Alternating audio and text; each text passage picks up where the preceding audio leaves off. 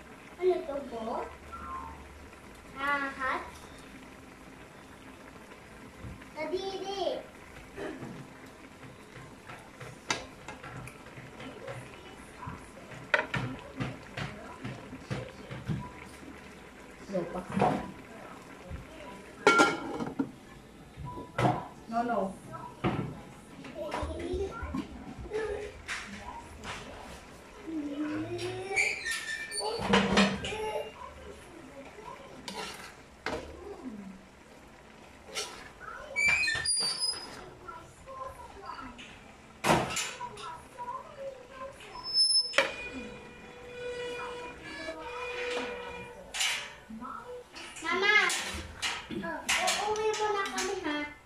Dito na kami sa uwian.